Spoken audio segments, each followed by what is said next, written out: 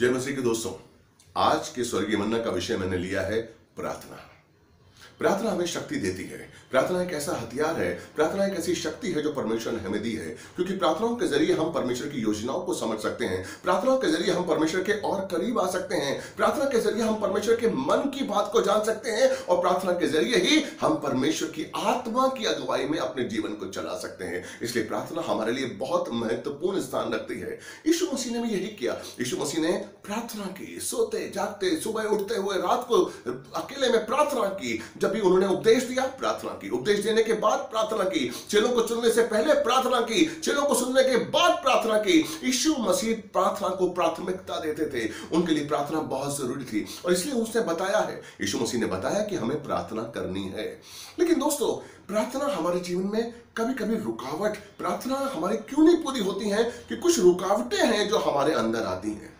आज मैं उन रुकावटों के बारे में आपको बताऊँगा। वैसे तो कई रुकावटें हैं, लेकिन तीन रुकावटों के बारे में आज हम चर्चा करेंगे, जो कि जब वो रुकावटें हमारे अंदर पैदा होती हैं तो हमारी प्रार्थना सुनी नहीं जाती है, हम प्रार्थना नहीं कर पाते। हालेलुया।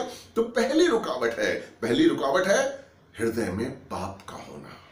Lord. अगर आपके हृदय में पाप है तो आपकी प्रार्थना नहीं सुनी जाएगी। भजन संहिता छियासठ का अठारवा वचन क्या कहता है? यदि मैं अपने मन में अधर्म को संजोए रखता तो प्रभु मेरी ना सुनता।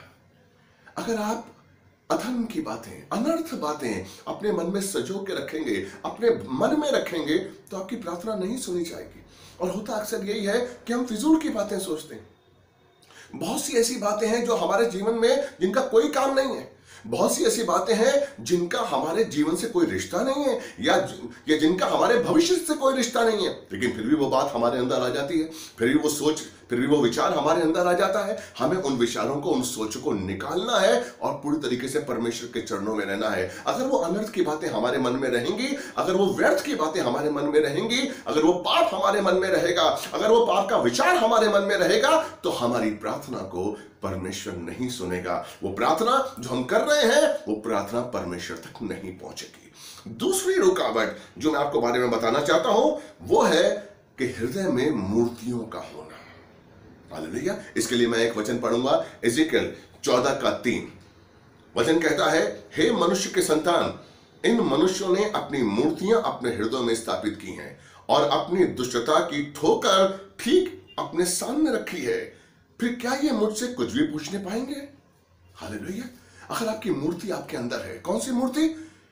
परमेश्वर से ज़्यादा अगर आप किसी भी चीज़ को स्थान देते हैं तो वो एक मूर्ति के रूप के आप, में आपके अंदर है।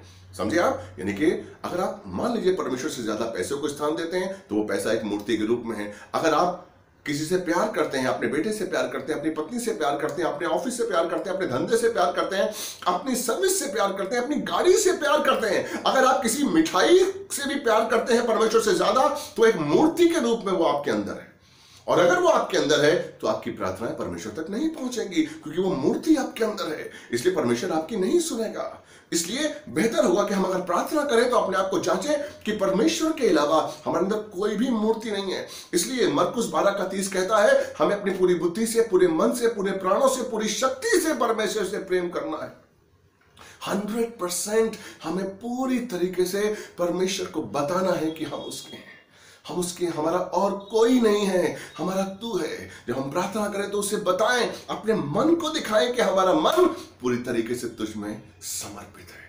और तीसरी रुकावट क्या है कि जब हम वचन की लापरवाही से, वचनों को लापरवाही से अपने जीवन में लेते हैं तो एक रुकावट पैदा करती है। उसके लिए मैं एक वचन पढ़ूँगा, नीति वचन का 28 का 9 जो व्यवस्था को सुनने से अपना कान फेर लेता है, उसकी प्रार्थना भी घृणित ठहरती है।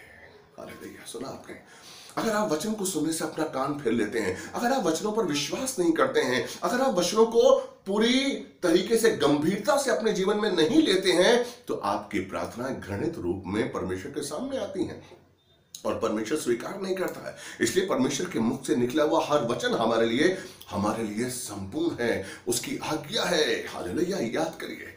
याद करिए, मिस्र से निकलने के बाद इसराइली इस मूसा से मूसा से बोलते थे, उसे लड़ते थे कि हमें तू कहाँ लेकर आ गया है कौन से देश में लेकर आ गया है तू? इससे अच्छा मिस्र में थे। मूसा से लड़ते थे। मूसा परमेश्वर के सामने रोया। उसने कहा, परमेश्वर, ये क्या हो रहा है? मुझसे इसराइली आके लड़ते हैं? और परमेश्वर ने जहरीले सांपों को, विषैले सर्पों को छोड़ दिया। और उन वसीले सर्पों ने, उन विषैले आपका सर्पों ने इसराइली को काटा।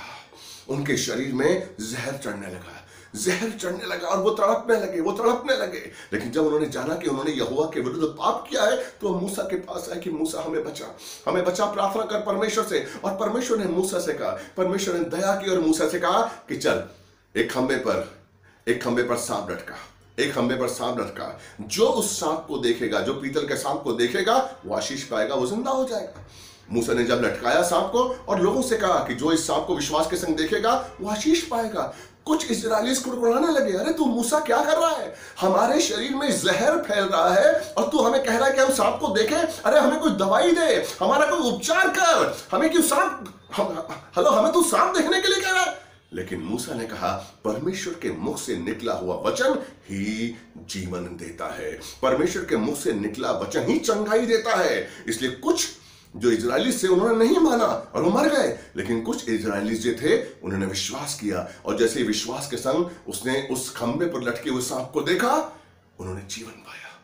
वो स्वर, वो जो विष था, वो उनके जीवन में काम नहीं कर सका। इसलिए अगर हम वचन को लापरवाही से अपने जीवन में लेंगे, अगर हम वचन की प्राथमिकता को, अगर हम वचन की शक्ति को महसूस नहीं करेंगे तो हमारी प्रार्थना परमेश्वर तक नहीं पहुंचेगी।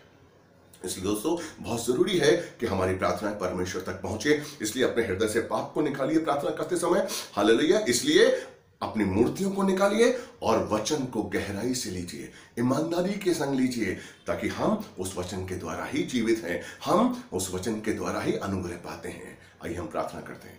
पिता परमेश्वर, धन्यवाद देता हूँ। देखने वाले हर भाई बहन के लिए आशीष और को चंगाई माँगता हूँ परमेश्वर, ताकि आज से हम प्रार्थनाओं को गंभीरता से, प्रार्थनाएँ हमारी सुने, ताकि हम ये रुकावटों को अपने जीवन से निकालें और प्रार्थना के ज़रिए पिता के समक्ष पहुँचे, क्योंकि पिता ही हमारे लिए सब कुछ है। हाल ईश्वर मसीहा के पवित्र सार्थी नाम से मांगते हैं। प्रार्थना आपने सुनी, कबूल किए मैं